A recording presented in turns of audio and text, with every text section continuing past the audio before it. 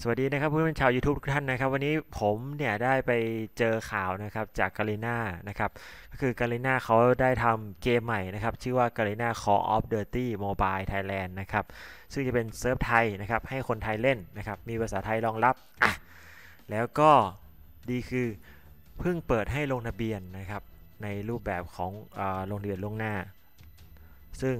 ยังไม่มีประกาศอย่างชัดเจนนะครับว่าเขาจะให้เล่นเมื่อไหร่นะครับ เพราะว่าเวฟเนี่ยเพิ่งเพิ่งสร้างวัน 24 กรกฎาคมที่ผ่านมานะครับ แล้วก็ประกาศมาเรื่อยๆนะครับจนถึงปัจจุบันนี้นะครับ ใครที่อยากสนใจที่จะเล่นนะครับ สามารถลงทะเบียนได้ล่วงหน้านะครับ ก็ไปที่เว็บตัวนี้นะฮะเดี๋ยวผมจะแปะลิงก์เว็บไว้ด้านใต้นะครับว่ากดที่ไหนนะครับ เลื่อนลงมานะครับ ก็จะเห็นช่องนะครับลงทะเบียนล่วงหน้าโดยใช้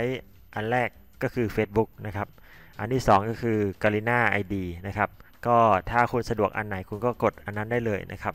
สมมุติว่า Facebook ก็กดที่ Facebook นะครับ แล้วก็ทำตามขั้นตอนของมันนะฮะ g a l i n a ID ก็เหมือนกันนะครับ ก็ทำตามขั้นตอนของมันนะครับ ทั้งนี้คนที่ลงทะเบียนล่วงหน้า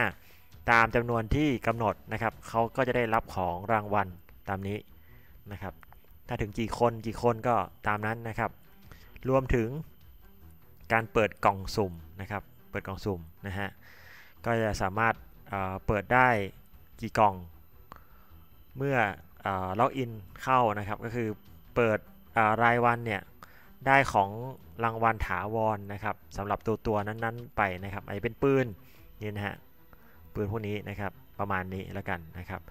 โอเคนะครับ คลิปนี้ก็ลากันไปก่อนนะครับ ขอบคุณครับ